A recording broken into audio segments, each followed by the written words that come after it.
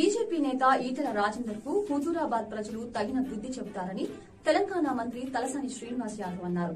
నాగార్జున సాగర్లో జానారెడ్డికి పట్టిన గతే ఉప ఎన్నికల్లో ఈటలకు పడుతుందన్నారు.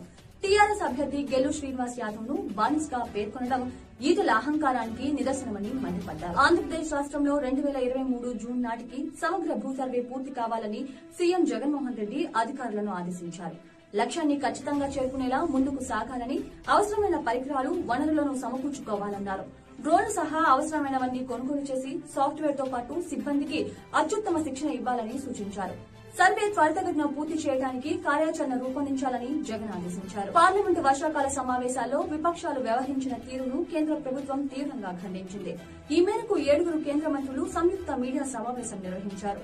పార్లమెంటును సజావుగా సాగనీయకుండా ఆటంకం సృష్టించి బెదిరింపు ధోరణులతో వ్యవహరించినందుకు ప్రతిపక్షం దేశ ప్రజలకు క్షమాపణలు చెప్పాలని వారు డిమాండ్ చేశారు. దేశీయ స్టాక్ మార్కెట్ సూచీలు మరోసారి భారీ లాభాల్లో ముగిశాయి ఐటీ ప్రభుత్వ రంగ బ్యాంకు షేర్లు సూచీలను ముందుకు నడిపించాయి.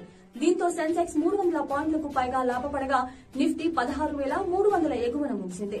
డాలర్తో రూపాయి మార్గం విలువ డెబ్బై నాలుగు రూపాయల ఇరవై ఐదు పైసలుగా ఉంది. ఐసీసీ టీ ట్వంటీ ప్రపంచ కప్లో టీమిండియా విజేతగా నిలిచేందుకు తన వంతు కృషి చేస్తానని సీనియర్ ఆల్రౌండర్ రవీంద్ర జడేజా అంటున్నారు. ప్రపంచంలోని అత్యుత్తమ ఫీల్డర్లలో తాను ఒకటినని పేర్కొన్నారు. సరైన దేహదారుఢ్యంతో ఉండేందుకు ఎంతో కృషి చేస్తానని విరాట్ కోహ్లీ అందరికీ ప్రేరణనిచ్చాడని వెల్లడించారు. ఇంగ్లాండ్ సిరీస్ గెలిచేందుకు టీమిండియాకు మంచి అవకాశాలు ఉన్నాయని ఆయన తెలిపారు.